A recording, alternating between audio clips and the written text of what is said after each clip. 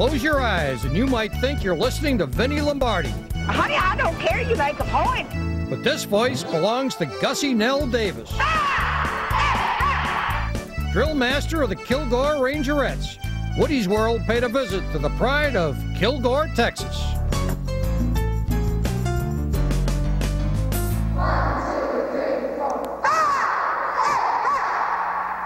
Ready?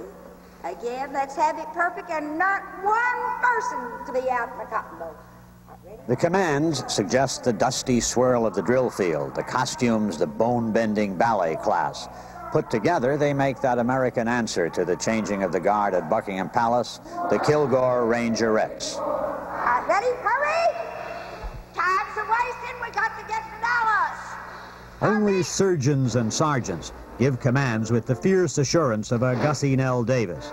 But it is obvious that there is no drudgery in these drills and that these non-scholarship girls are as glowing and dedicated as ballet students under the eye of Diaghilev. The Rangerettes may yield something in antiquity to the Russian Imperial Ballet, but since this day in 1940, with little change in basics, save a shortening of the skirt, they have danced metronomically, lashed on by the voice of the lady who substituted choreography for cheers at halftime. About one in five of the 750 freshman girls at Kilgore Junior College turn out for the two-week training camp. Some wilt at things like the demands of the trademark high kick, but about 40 sobbing successes get to join the staider second-year girls who are already sobered at the thought that soon marching and kicking will give way to motherhood and kitchen. Still, while the bugles blow, the blood bubbles. My mother was a rangerette, and it's been a very great aim in my life to come to Kilgore to be a rangerette. We work very, very hard, and it's always a great reward. I have always wanted to be a rangerette, and then when I did become one last year, it was just like a fulfillment of a dream, so to speak. Sometimes it is rough, but when you get on the field and you see the crowd and hear the band and start your performance, it, it's all worth it. Trips to Hollywood, New York, or nearby Dallas are obviously a large lure to girls who have, for the most part, spent their lives in oil field towns which can't muster a population to match their Saturday audiences. On their way to the Cotton Bowl this week, they sang as if their ancient bus were a magic carpet.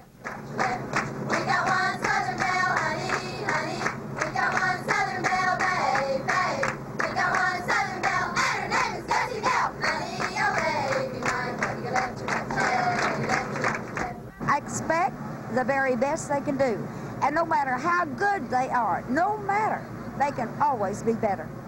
Week in and week out, the hard work they do, are what are they competing with perfection, are they? Well, I guess so, because they better be just as perfect as they can or else. Most girls really are a little lazy at this age, and they think that rangerette is nothing but glamour. They don't realize you have to work for glamour and work hard, and that it's physical work. And uh, some of them come in and stay about two hours and they're gone. And after the first day, we usually lose about 25 or 30.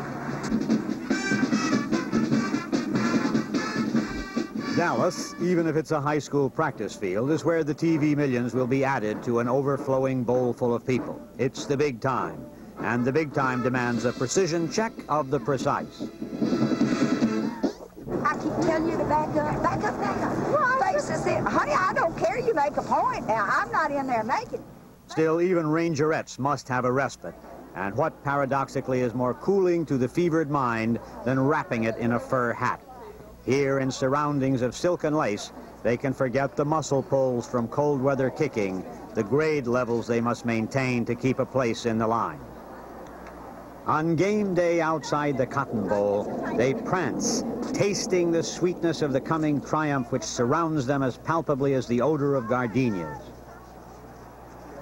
They are on their way to the crossroads of attention, where top-flight football teams, Notre Dame and Texas, coached by folk heroes Ara Parseghian and Darrell Royal, meet under 75,000 pairs of eyes, one pair belonging to the former President of the United States. And when halftime comes, the incumbent president is reliably reported to be watching the Rangerettes as they experience the beehive joy of the group performance. Kicking and smiling, they savor the minutes which must always sit at the front of memory's cluttered shelf.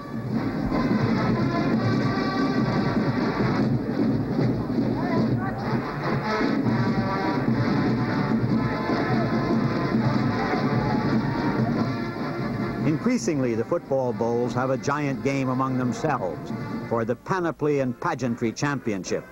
In this battle, fought with floats, frills, drums, and dancing, the Kilgore Rangerettes are an all-American asset. This is Heywood Hale Broun in Dallas.